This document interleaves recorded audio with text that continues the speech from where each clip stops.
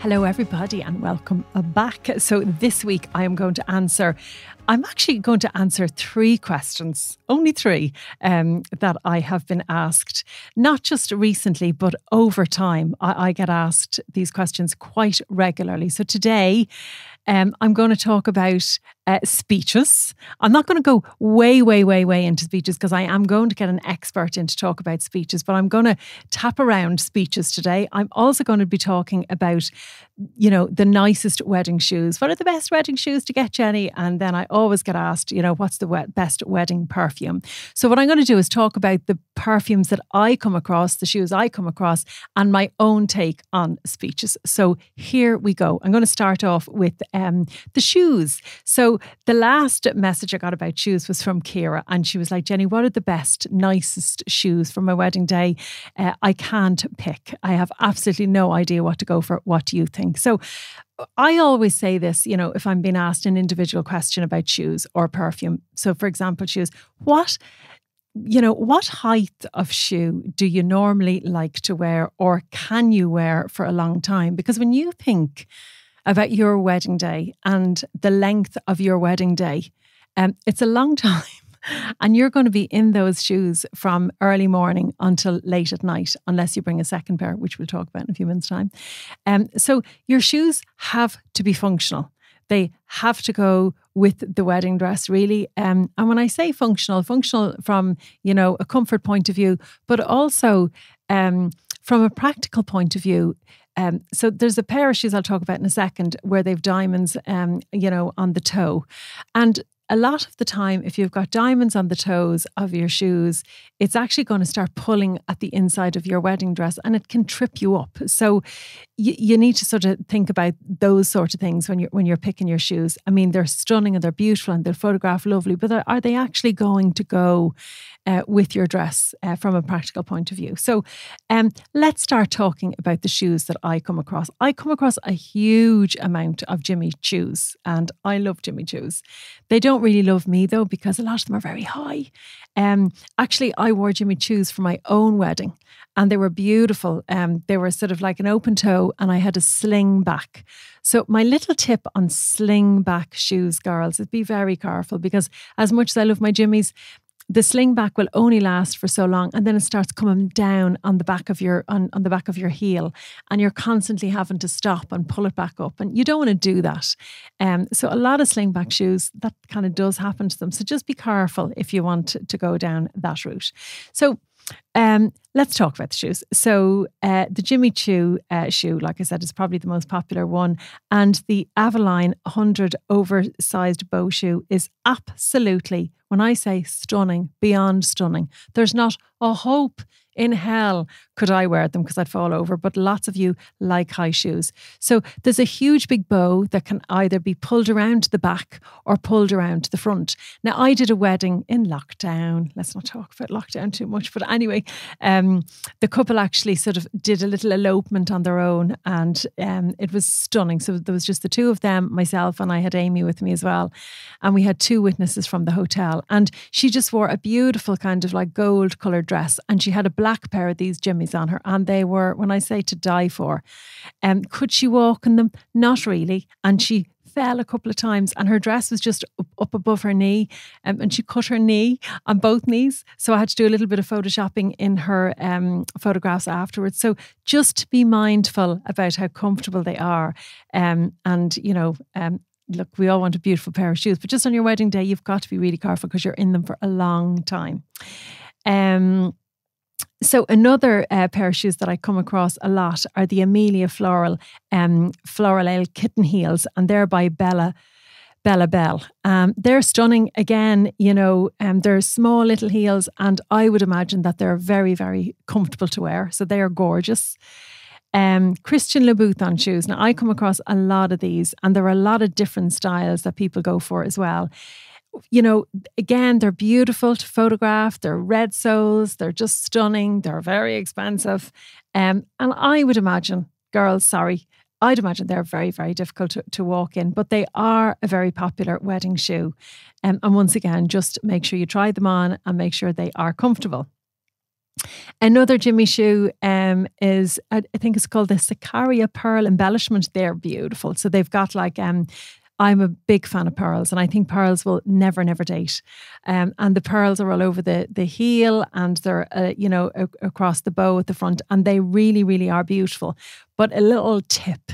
Uh, I have seen uh, shoes like that that are not Jimmy Choos.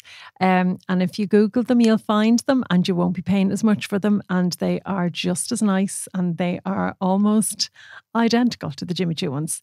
Um, the loaf I, I, can never pronounce this, the Loeffler, Randall, and um, Camellia, uh, pleated bow heel. I absolutely love these ones because um, they come in different colours as well. So they come in an ivory kind of white, they come in gold, they come in blue. And um, there's a lot of blue shoes that I would see. And these are very, very comfortable. Um, so they are. Now, I'm going to just be honest about the gold uh, ones. I bought the gold ones for my son's wedding.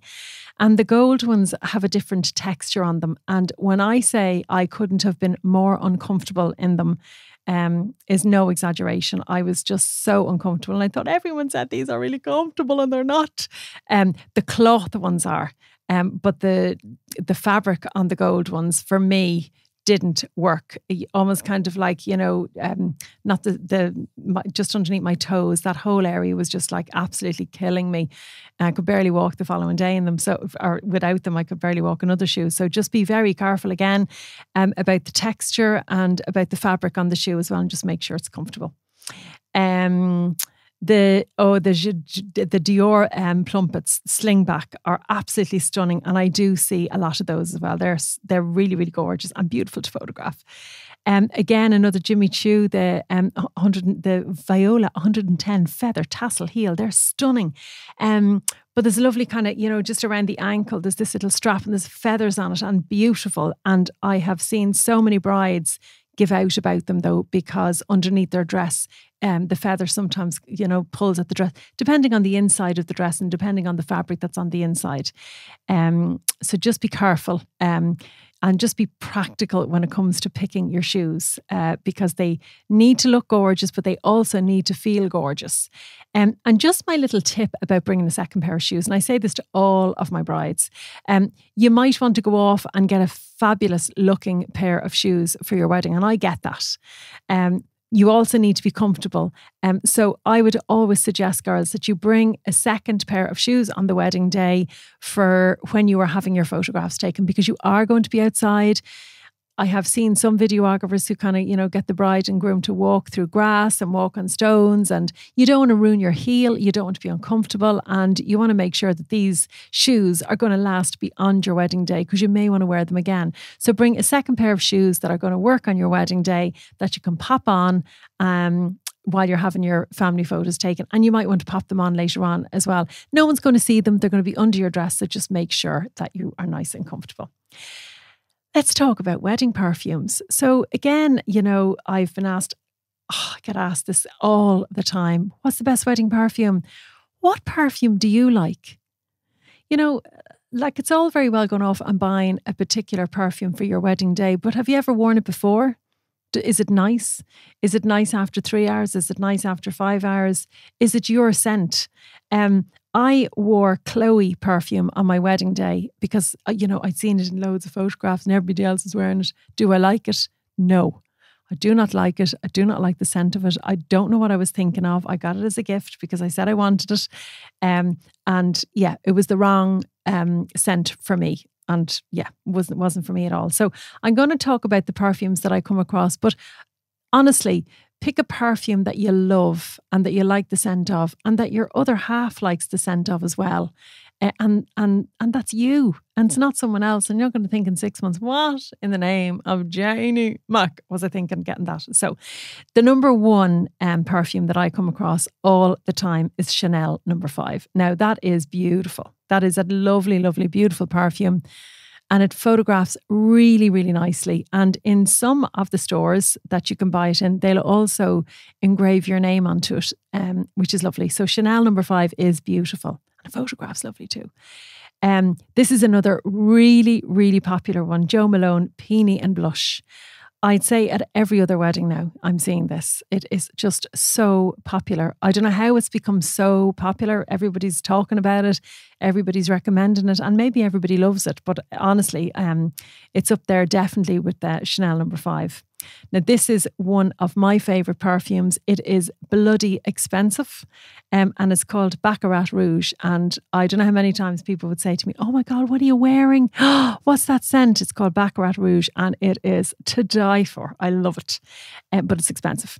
Tom Ford. Um, there's a lot of Tom Ford perfumes that I see quite a bit out there. Um, you know, and and again, I would say go and you know give them a sniff in Brown Thomas and make sure you like them because while there are some Tom Ford perfumes that I absolutely love, there's some Tom Ford perfumes that I absolutely despise.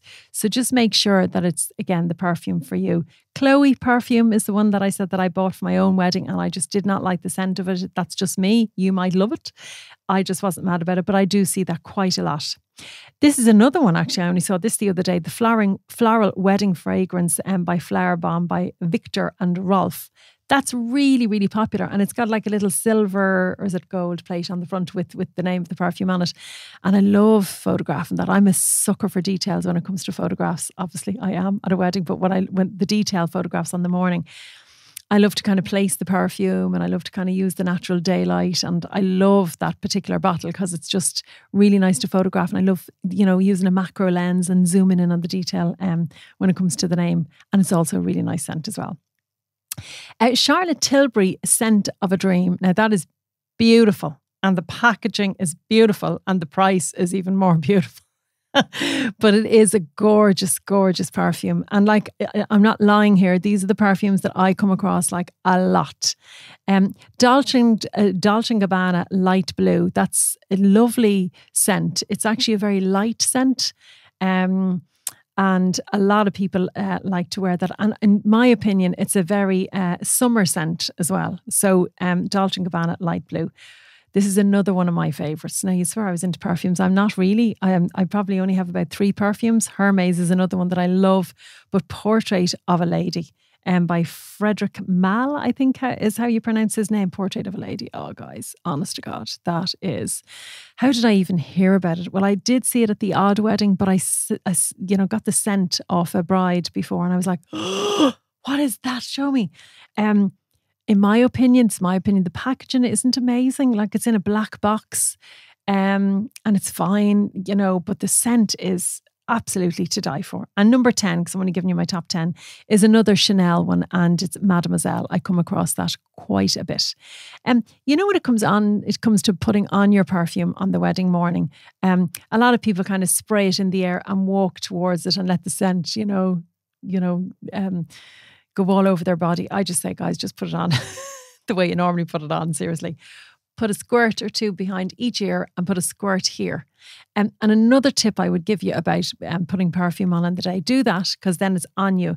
Um, but if you have a veil, just get one of your bridesmaids to spray loads of it onto your veil because as you're walking up the aisle, then um, that's a scent then that absolutely everybody is going to get while you're walking by them. They're like, what's she wearing? Anyway, so that's it with wedding shoes and wedding perfume for now. And now I'm going to go on and talk about the speeches. Briefly enough, I'm not going to be telling you who should say what, um, but I'm going to just talk about, you know, who normally speaks. Um, and again, when I get asked this question, I'd always say it's a difficult enough one to answer because what's traditional is traditional and you know some people want to be a little bit different. But again i would always say to couples make your wedding speeches and make your entire day about what you want not what everybody else is has done or is doing.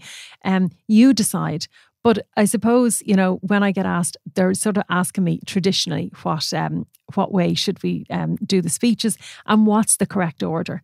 Um, you know, and when you think, I suppose nowadays of kind of who gets married, you know, you've a bride, you've a groom, you've mixed gender bridal parties, you've brides with brides, you've grooms with grooms. So it all depends on sort of you know what suits the two of you. But in terms of what's traditionally done um, and who speaks um, would usually be, you know, you'd generally sort of pick an MC, which is normally the best man if he's a good speaker. And what he would do then is, you know, stand up to start with and, you know, say hello to everybody and introduce himself. And then he introduces then all of the speakers. Um, and this is kind of traditionally what happens, okay? So he would introduce the father of the bride would generally go first. Then the father of the groom would generally go second, and the groom and the best man. And that's kind of how, um, you know, what order they come in. Now, I've seen lots and lots of different ways of doing speeches. I've seen lots of different people speaking at speeches. I've seen them, you know, taking place at different times during the day and, and during the evening. I had Tig, the gorgeous Tig from Tankardstown in here like a little while ago, and he was saying how he likes to see them being done. He loves all of the speeches to be done at the end of the meal. But I was doing a wedding there a couple of weeks ago in uh, Castle, and they had their speeches before everybody was brought in and seated for the meal, which was actually a nice way of doing it, I thought, um, because they allowed that time and they took that time from their drinks reception to do the speeches. And then that sort of way, when everybody went in to have their meal, everybody was able to have their meal and enjoy it. And there were no speeches at the end. And that was a lovely way of doing it. And it was sort of um, much more informal when it was done um, at the drinks reception because everybody came out and they were just sort of standing at the top of the stairs. And that's how they did it as well. You know, father of the bride, father of the groom, um, the groom and the best man. That's how they, they did theirs. And it was lovely. And people really kind of appreciated that time um, uh, during the drinks uh, reception, you know. There's so many other uh, factors to consider when planning the order of speeches at a wedding. Um, you know, like the couple's parents both might want to speak. You know, so typically and traditionally, the father of the the groom would get up. But you know, there's. I was talking to somebody the other day, and she was saying, "I know your dad wants to speak, but I'd like to say a few words as well. I'm your mother, and." And I get that too, you know. So um, if mums want to speak, let them speak. So, you know, then you've got four people the hotels are going to kill me now for saying all this because they don't want 55 people speaking. But you know, if they want to speak, let them speak. Um, sometimes, you know, you might have a maid of honor who wants to say a few words instead of the bride getting up to speak. And that's absolutely okay. Again, I was in Adare Manor a couple of weeks ago and we had the bride's sister who got up and she spoke. And that was lovely. That was really, really nice because she just spoke about the bride, which was really nice, you know. Um, because when you have a best man standing up, he generally talks about the groom and he tells a few few funny stories about the groom. And if you don't have somebody else speaking on the bride's behalf, you're you're going to have her dad then talking um, about her, you know, on his behalf. But you don't have somebody her age talking about her on on their behalf. So it is kind of nice actually to get a friend or a maid of honor. Um, the couple speaking, I actually decided at my own wedding to speak because I just sort of felt that and and probably, of course, you did want to speak, Jenny. You never shut up. But actually, there was loads of people in the room that you know, I wanted to thank too, and I didn't want to leave all of that up to Martin. And of course, I wanted to thank Martin too because um, I think he was, yeah, that was special, and uh, I felt that needed to be done. So, I do believe that um, if the bride wants to speak, absolutely let her speak. You know, um, and there are different people and different, you know, um, suppliers um, that you might want to to thank as well. Um, you know, typically within the speeches, the bridesmaids are thanked, the wedding venue is thanked, the parents are thanked, the groom is thanked, the groom talks about the bride, and sometimes he forgets to talk about the bride. Would you believe that? Honestly, like every now and again, um, the groom. is so fixated on thanking this person, thanking that person, thanking all the people who have travelled and forgets all about the bride. And that's kind of not good, you know, because he'll get into trouble. There'll be no nookie that night. so it's funny, um, you know, when you think that you're really, really, really organised when it comes to the speeches, but, you know, have a serious think about who you need to thank and what you need to say. Um, and I suppose I'm going to part by saying, um, Speeches don't have to go on for an hour. In actual fact, if they go on for an hour, people, your guests start to lose the will to live, you know? Um, and you, will know then as soon as the fin- the speeches stop, there's a big, you know, mass exodus from the room. Everybody wants to go to the toilet. So I would reckon, and honestly, and this is not just because I don't want to be standing around photographing them happening. Um, I would reckon, you know, five minutes to seven minutes per person is absolutely all you need. Um, and when a father of a bride gets up to speak, he really shouldn't go through his daughter's entire CV. Nobody wants to hear about it. You know, a couple of funny stories about his daughter is absolutely ample, and five to seven minutes is absolutely loads. The same for the father of the groom. Um, the groom can go on a little bit longer, I suppose, because it's his day, and the best man as well, you know, again, five to seven minutes. And I suppose one of the key things I would say when it comes to, you know, speeches and especially best man, never, ever, ever mention any exes. like I know that probably you know should be an unwritten rule and it is an unwritten rule but I absolutely I have written a book.